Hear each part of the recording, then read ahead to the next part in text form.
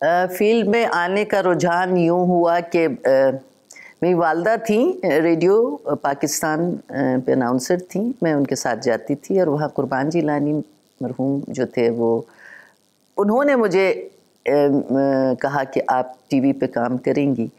उस वक्त पीटीवी ही एक चैनल था जिस पे हम सब काम करते थे।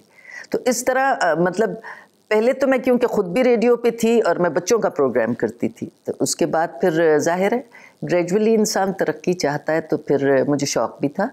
तो फिर मैं कुरबान साहब ने मुझे इंट्रोड्यूस किया टेलीविज़न पे और अब्दुल करीम बलोच साहब का पहला ड्रामा मैंने सिंधी ज़बान में किया। आजकल का ड्रामा जो स्क्रिप्ट्स हैं, मैं उससे इतनी मुतफ़ नहीं हूँ। उसकी वजह यह है कि हम एक ही उसमें फंस के रह गए हैं। सास, बहू, झगड़ा, लड़ाई, रोना, धोना, औरत के साथ ज़्यादती, ऐसा नहीं है। आप अपने आप, आसपास देखें तो बहुत सारी कहानियाँ हैं। पता नहीं हमारे राइटर क्यों यहीं आके एक जगह स्टक हो गए कि जी, सास, बहू का झगड़ा, बेटे का माँ से झगड़ा, बहू का सास से झगड़ा, बहू का उसको जलाना, ये चीज़ें जो देखें टीवी जो है, बहुत से लोग इसको बहुत सीरियसली ले लेते हैं। आप देखें कितने वाक़ात होते हैं।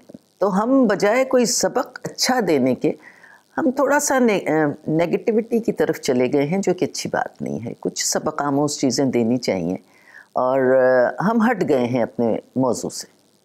किरदार तो बहुत सारे किए हैं और अपनी अपनी पूरी एफर्ट की है अच्छा करने की।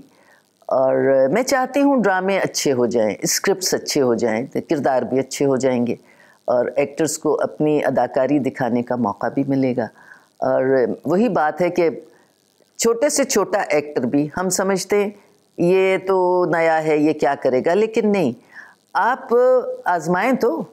आप देखें हमारे पड़ोसी मुल्क में, किस कदर नए लोग काम कर रहे हैं और कितना अच्छा काम कर रहे हैं। अब अब तो वीवर भी ना एक से चेहरे देख देख के तंग आ गए हैं। मैं तो फ़िल्मों में भी देखती हूँ वही हमारे टीवी के एक्टर काम कर रहे होते हैं। ज़रा सा रिस्क ले लें बहुत अच्छे अच्छे एक्टर आपको मिल जाएँगे। अपने काम से अपने मेहनत से इस फ़ील्ड में आई मैं और आ, मेरी कोई पर्ची नहीं थी जो कि आज के ज़माने में बहुत ज़्यादा है। अल्हम्दुलिल्लाह मैं अपनी मेहनत से आगे बढ़ी और आज तक अगर स्क्रीन पे हूँ तो अपने मिजाज और अपनी मेहनत की वजह से बहुत अच्छे अच्छे डायरेक्टर्स हैं। एहतशामुद्दीन बहुत अच्छे डायरेक्टर हैं, उसामा बहुत अच्छे डायरेक्टर हैं, उसामा रज़ा। और सिराजुल हक बहुत अच्छे डायरेक्टर हैं।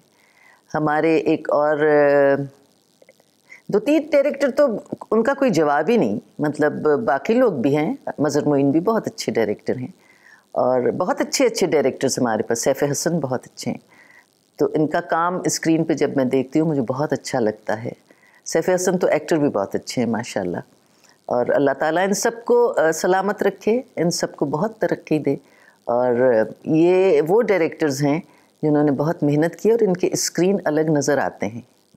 हम जो ड्रामे देखते हैं, मैं एक वीवर भी हूँ, एक्ट्रेस होने के अलावा ड्रामे बहुत शौक़ से देखती हूँ।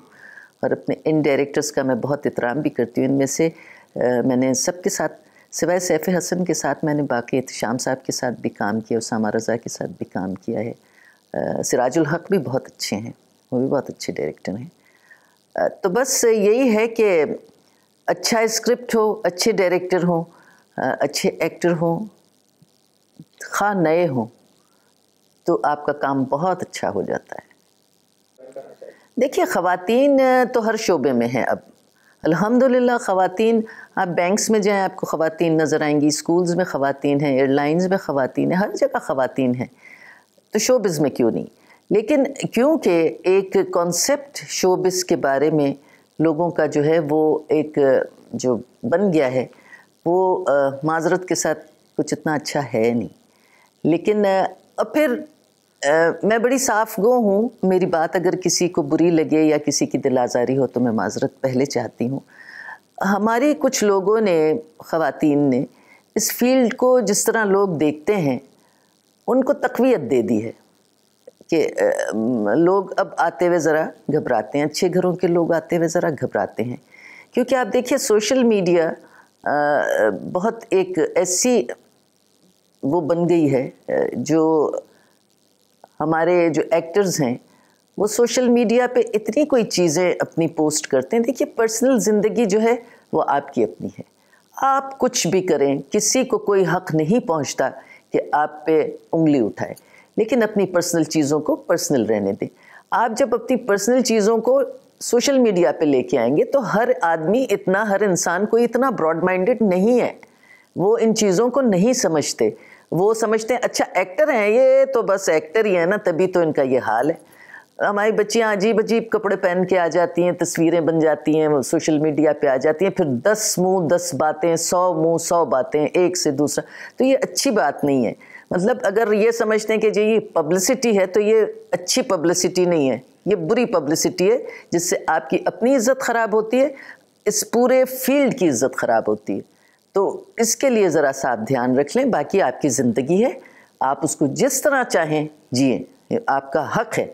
लेकिन बरए मेहरबानी उन चीज़ों को आप सोशल मीडिया पे ना लेके आएँ, वो आपकी पर्सनल लाइफ है।